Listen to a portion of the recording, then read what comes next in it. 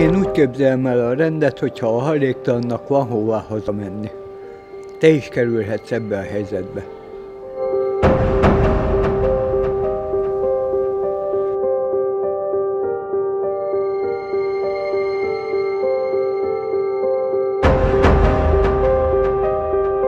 Én úgy képzelem el a rendet, hogy mindenkinek van otthona, és a szegény embereknek is ugyanolyan jogai vannak, mint nekem.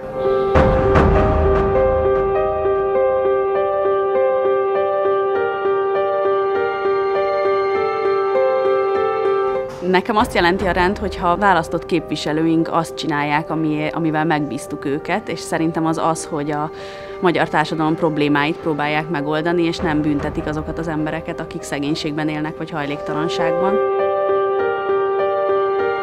Egy olyan rendet képzelünk, ahol mindenki elfér, és nem vagyunk kiszorítva, mert a hajléktalanok is emberek. Ugyanúgy. Egy közösség számára rend az szerintem csak valami olyasmit jelenthet, amiben mindenkinek van valódi lehetősége arra, hogy megtalálja benne a helyét. És végül azt is jelenti a rend, hogy, hogy a rendőrség az nem üldözi az embereket, hanem, hanem azért dolgozik, hogy biztonságban tudjanak élni.